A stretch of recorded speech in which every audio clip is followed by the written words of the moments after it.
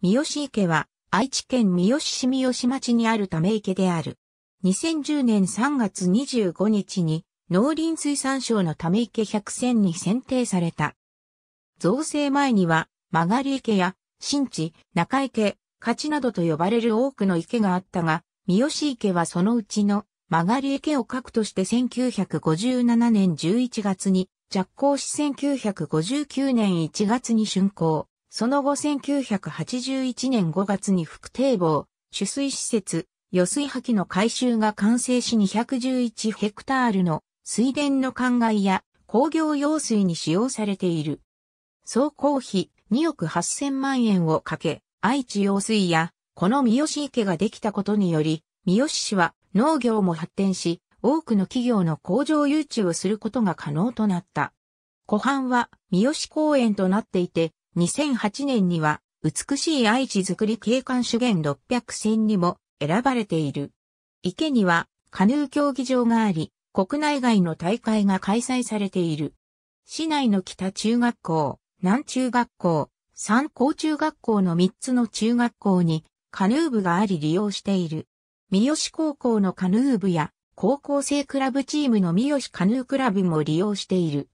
三好市の中学生は全国中学生カヌー大会で毎年多数優勝、入賞をしている。高校生もインターハイ、国民体育大会で毎年多くの優勝、入賞をしている。三好カヌークラブからは、毎年日本代表として世界大会にも出場を果たしている。土日は200名以上が水上で練習を行っている。全国的に三好市のカヌーは有名である。年間のカヌー大会。毎年多数の大会が開催されている。500メートルの9レーン。25メートルごとに V が浮いている。レーン間隔は9メートル。日本カヌー連盟の公認コースである。スタートには日本初の自動発停装置が完備されている。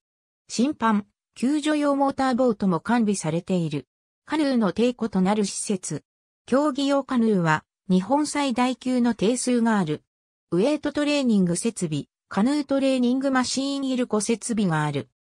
カヌーを乗り降りするための桟橋も完備している。池の周囲は 4.5km のトリムコースとなっており、地域の住民や企業の実業団が利用するジョギング、散歩コースとなっている。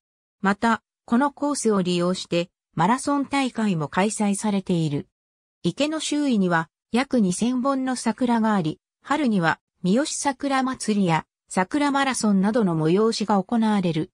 夏には三好池祭りが行われ、水中スターマインや水面を走る金魚花火や打ち上げ花火が行われる。